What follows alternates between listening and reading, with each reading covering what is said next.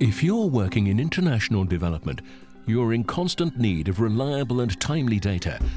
Data on how to improve your programs and how to increase your impact.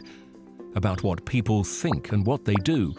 About their health, their wealth and their consumption.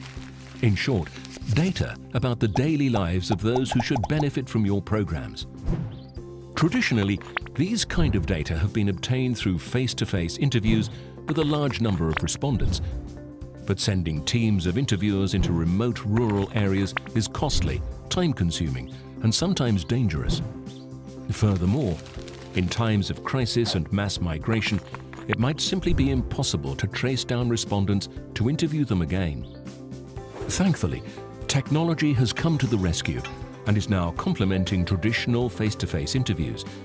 With the rise of mobile phones in many developing countries, it is often no longer necessary to visit and revisit respondents in order to track changes in their lives.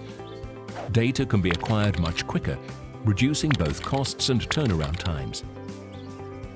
The World Bank's Listening to Africa initiative showcases this enormous potential of mobile data gathering. Partnering with national statistical agencies and NGOs, the World Bank is piloting to collect data through mobile phone surveys in six African countries. Respondents are provided with mobile phones and a solar charger if necessary. Interviews are conducted by trained professionals working from dedicated call centres Small incentives in the form of credit top-ups are transferred to respondents after each completed interview. This encourages respondents to participate in the survey and to keep their phones charged. The initiative is already seeing results. In Madagascar, we tracked in real time how increasing food insecurity is affecting the most vulnerable citizens. And in Togo, we were able to monitor the frequency of power cuts that households were experiencing in the country's capital, Lomé.